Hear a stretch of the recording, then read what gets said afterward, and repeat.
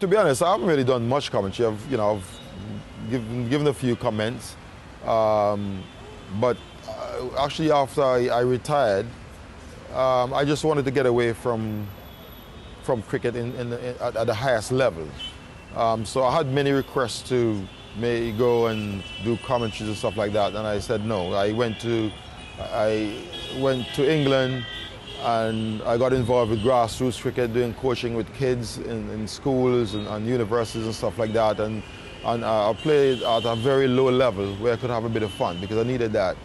Um, um, so that, that's what I did mostly. And then very recently, two years ago, the West Indies Cricket Board asked me if, if I would like to manage the, the side. And, I, and I've always said I would never ever turn my back on my country. Um, especially where cricket is concerned. Whatever they ask me to do, I, would always do it. So I just relish the opportunity to work with the West Indies team.